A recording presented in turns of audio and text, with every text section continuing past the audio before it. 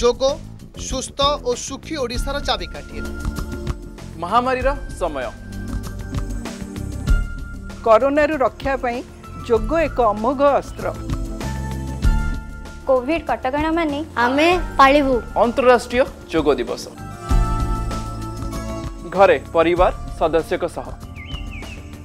ଆମର ବିଶେଷ କାର୍ଯ୍ୟକ୍ରମ ଯୋଗ ଶକ୍ତି ଜୁନ୍ ଏକୋଇଶ ତାରିଖ ସୋମବାର ସକାଳ ଛଅଟାରେ